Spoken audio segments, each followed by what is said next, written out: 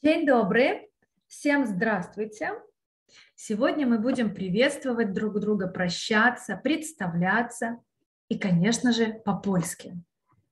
А więc повитание и пожегнание. Повитание – приветствие, пожегнание – прощание. Как мы можем поздороваться? Доброе утро и добрый день в польском языке звучит одинаково. Мы скажем день добрый. Причем это устойчивая фраза, и нельзя словами поменять местами. Будет неправильно сказать добрый день. Правильно говорим день добрый. Добрый вечер, добрый вечер. Витам, приветствую. Привет, честь. Хей, привет. Щема, также привет, но это сленговое, сленговое слово. Хей и щема мы говорим только с друзьями. Слово щема произошло от выражения як щемаш. Объединили привет, как дела? Также можно сказать щеманко, щеманечко. Но мы пока запоминаем хей, щема. Это, эти слова используем с друзьями.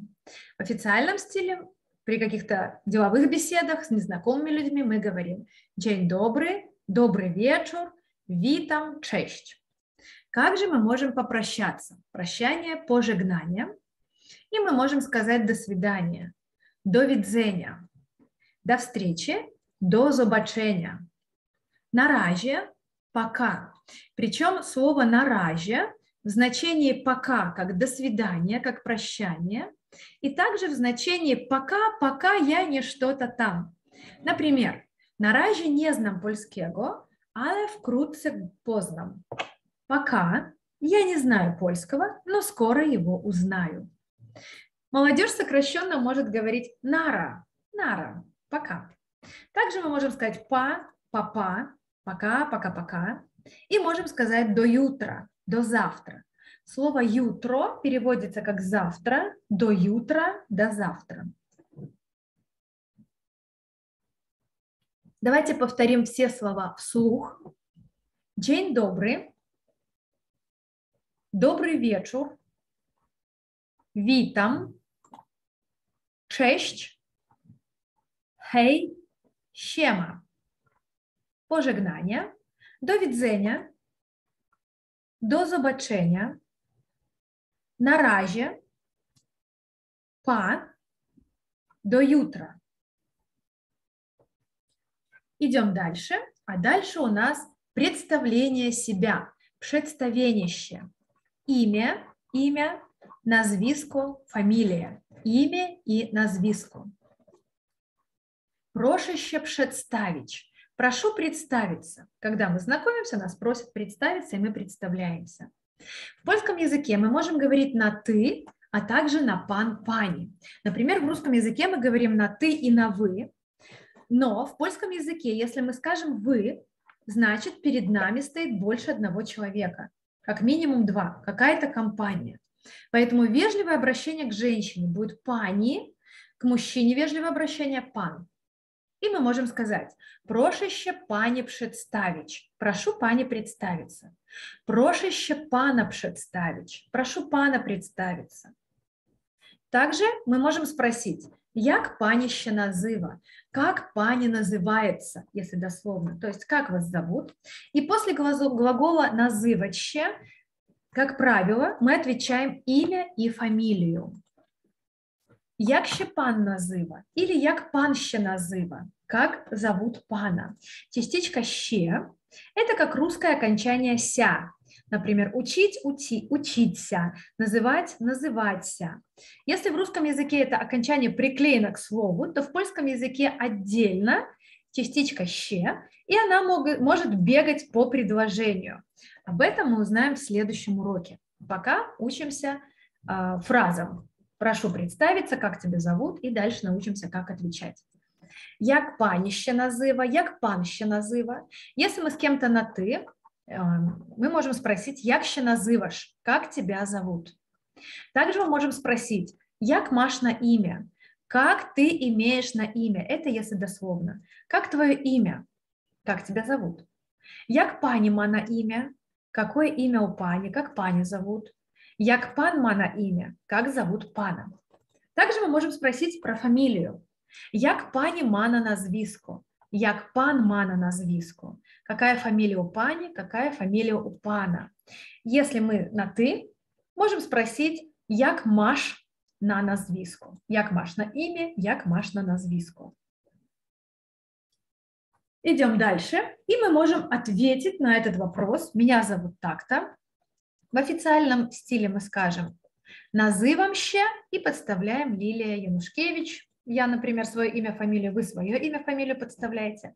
И мы не называем местоимение «я». В польском языке местоимения «я», «ты», «мы», «вы» не озвучиваются, не называются. О ком идет речь, понятно по окончаниям в глаголах. Если мы хотим ответить на вопрос «Як ще называш?», мы отвечаем «Называм ще Лилия Янушкевич». «Называм ще» и свое имя, фамилию подставляем. «Называш ще Петр Янушкевич». Ты, ты называешься, тебя зовут Петр Янушкевич. Он называще Войтек Янушкевич. Его зовут так-то и так-то. Она называще Анна Янушкевич. Ее зовут так-то и так-то. Также мы можем сказать просто «я Лилия». И в таком случае мы скажем «естем Лилия». Естеш Петр. Ты Петр. Он ест Войтек. Он Войтек. Она ест Анна. Она Анна. Или ее зовут Анна. Также мы можем сказать «мам на имя Лилия». Я имею на имя Лилия, если дословно. То есть красиво по-русски мы скажем «мое имя Лилия». Меня зовут Лилия. Маш на имя Петр. Тебя зовут Петр. Он ма на имя Петр. Его зовут Петр. Она ма на имя Лилия. Ее зовут Лилия. То есть на вопрос Як ще називаш, или як пані пан ще назива, як маш на ім'я, мы можем ответить называм ще и подставляем имя, фамилию, естем подставляем имя, мам на имя и называем имя. Переходим к следующему слайду, и перед нами числительные, личебники. Я буду читать сейчас вслух, произносить, а вы, пожалуйста, также вслух произносите вслед за мной. Zero, jeden, два, trzy, cztery, pięć, sześć, siedem, osiem, dziewięć, десять. И давайте, чтобы лучше запомнить название цифр, поиграем с вами в игру. Я буду называть легкие примеры, плюс один, минус один, а вы следите глазками и вслух проговаривайте ответ. 0 плюс 1 то 1. 3 плюс 1 то 4. 10 мінус 1 то 9. 7 плюс 1 то 8. 6 мінус 1 то 5. 10 мінус 10 то 0.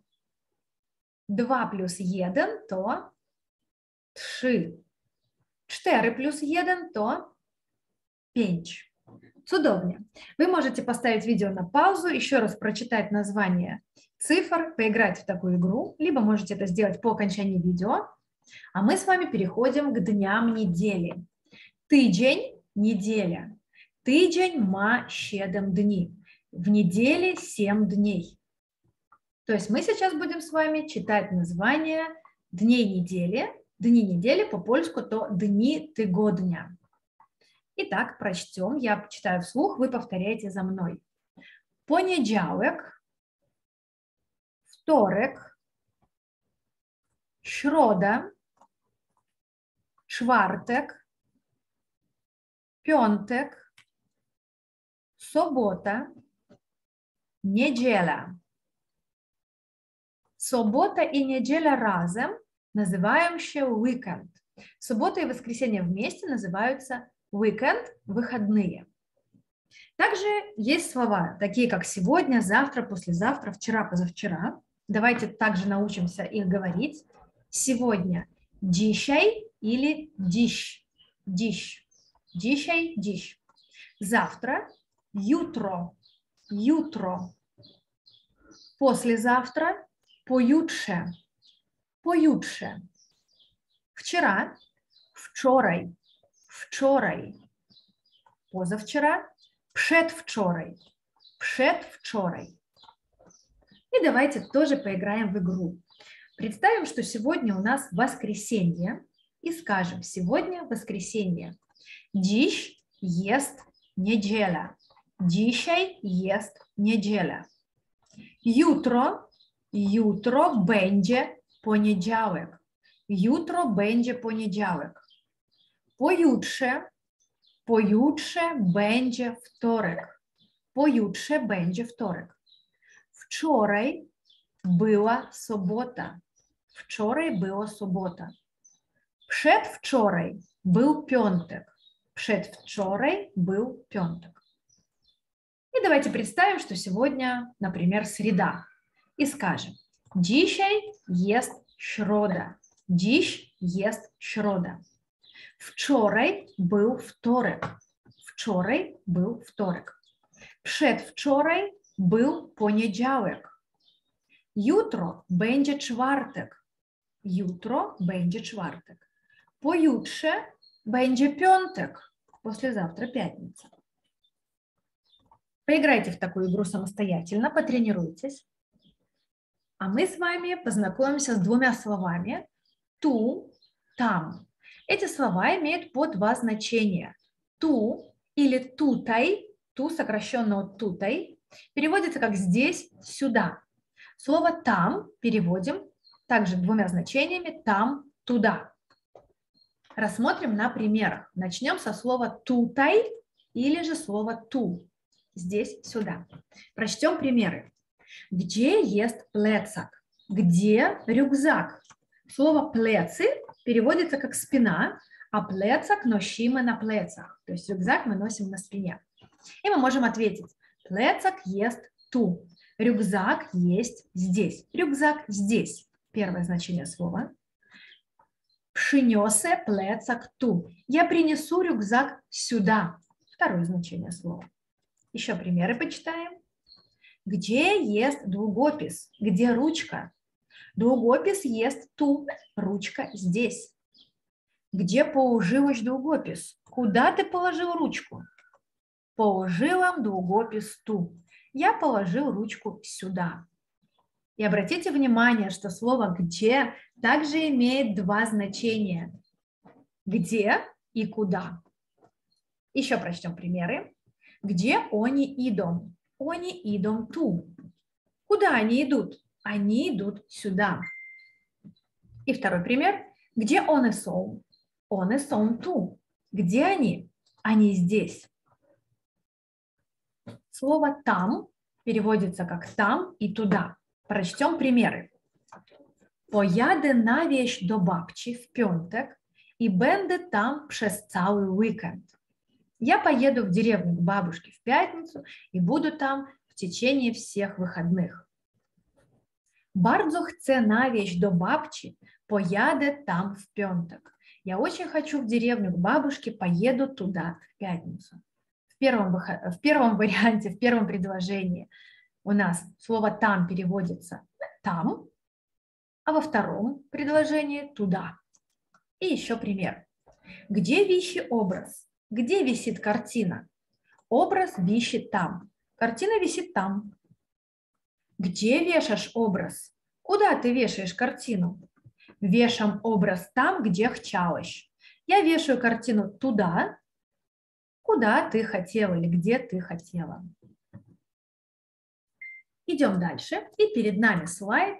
Мы видим упшеймое и ратунковое слово. Вежливые спасательные слова. Для чего нам нужны эти спасательные, спасительные слова? Например, что-то мы забыли. А, или, например, мы находимся на беседе с консулом для карты поляка, и что-то мы разнервничали, что-то у нас вылетело из головы, чего-то мы не знаем. Не молчите, пожалуйста, что-нибудь говорите. Можно сказать, я ошиблась, потому что нервничаю. Или вот этого я не знаю, но давайте я вам расскажу об этом. Итак, давайте прочтем фразы и слова. Я буду читать вслух, вы также повторяйте за мной вслух. Dziękuję, спасибо. Dziękuję bardzo, большое спасибо. Проше, пожалуйста. Проше bardzo, большое пожалуйста. Przepraszam, извини, я прошу прощения. Przepraszam. Przepraszam, не rozumiem. Прости, я не понимаю. Проше повторить. Прошу повторить. Пожалуйста, повторите. Проше повторить иными словами. Повторите, пожалуйста, другими словами. Проше написать. Прошу написать или, пожалуйста, напиши. Проше пшелитеровать. Пожалуйста, по буквам. Например, консул не расслышал вашу фамилию и говорит, пожалуйста, по буквам меня назовите. Проше пшелитеровать. Проше пшечитать. Прошу прочитать. Пожалуйста, прочитайте. Мам питание. У меня вопрос. Не вем. Я не знаю. Co to znaczy? Что это значит? Проше мувич вольней. Пожалуйста, говорите медленней. Проше мувич гощней. Прошу говорить громче. Як ще мові по-польську? Как сказать по-польски что-то? Не wiem, як то będzie по-польску, по-російську то. Например, мы знаем что-то, как произносится по-русски, но не можем сказать по-польски. Мы можем сказать, я не знаю, как это говорится или как это будет по-польски, но по-русски это звучит так-то и так-то. Przepraszam, niestety не pamiętam. Прошу прощения, но, к сожалению, я не помню. Niestety, к сожалению. Mi, ale nie wiem. Мне жаль, но я не знаю. Mi, мне жаль. Niestety не умем odpowiedzieć. К сожалению, я не умею ответить, то есть не знаю, как ответить. Przepraszam, strasznie się denerwuję. Извините, я очень волнуюсь, очень нервничаю, переживаю. Страшно się. Дальше у нас два варианта. Вариант, когда мы девушка говорим и когда мужчина. Ой, помылилам ще з нервов. Ой, я ошиблась, потому что нервничаю. Скажем, если мы девушка. Так как в прошедшем роде в польском языке э, женское окончание «лам», мужское окончание в прошедшем роде «лэм». Если мы мужчина, мы скажем «Ой, помылилам ще з нервов». Ой, я ошибся, потому что нервничаю. Также со словами «я знала», «я знал». Ведялам, говорят девушки – Ведяуем, скажут мужчины. Например, мы чего-то там забыли, и нам подсказывают. Мы такие, да я же знала это точно. Или я это знал. Wiedziałem. Tego akurat nie wiem, ale mogę opowiedzieć o bo. Этого я вот как раз не знаю, но могу рассказать об этом, о том-то, о том-то, потому что так-то и так-то. То есть не молчим, если мы что-то забыли или чего-то не знаем, предлагаем свой вариант ответа. Можете сейчас сделать скрин экрана и поучить эти слова, фразы, выражения. А мы с вами давайте немножечко потренируемся, почитаем диалоги из книги «Крок по кроку позже Аеден». Почитаем вот эти диалоги. Я читаю, перевожу, слушайте, также старайтесь повторять вслух. Cześć, jestem Анжела, а ты? Привет, я Анжела, а ты? Мам на имя Том, мое имя Том. Бардзо мимио, мне очень приятно. Новую фразу запоминаем. Бардзо мимио, мне очень приятно. Мио ми, и мне приятно. Cześć, jestem мами Такада. Привет, я мами Такада. Як ще називаш? А как тебя зовут? Мио ми, Называм ще Анжела Браун. Мне приятно, то есть мне приятно с тобой познакомиться в этом значении. Меня зовут Анжела Браун. Bardzo mi Мне очень приятно. Cześć, mam na imię Uwe. Привет, мое имя Уве. Мио Миче познать, jestem Том. Если дословно, приятно мне тебя узнать. То есть мне приятно с тобой познакомиться. Мио Миче познать, я Том. Мио Ми, Приятно, мне тоже приятно. Здесь прочтем. Przepraszam, gdzie jest туалета? Прошу прощения, а где туалет? Туалета есть там, направо. Туалет там, направо. Dziękuję bardzo. Спасибо большое. Przepraszam, gdzie jest internet? Извините, а где интернет? Компьютеры są tutaj, компьютеры здесь, интернет есть gratis. Gratis значит бесплатно, интернет бесплатный. Dziękuję pani bardzo. Спасибо большое. Итак, домашнее задание. Научиться здороваться, прощаться, задавать вопросы, как тебя зовут, как твое имя, как твоя фамилия, отвечать на, это, на эти вопросы. Меня зовут так-то, так-то, мое имя такое-то, я тот-то и тот-то. Учим название цифр до 10, дни недели, также слова сегодня, завтра, послезавтра. Запоминаем, что слова «ту» имеют два значения здесь, сюда, слово «там» два значения «там», «туда», «где» также может быть в значении «где» и «куда».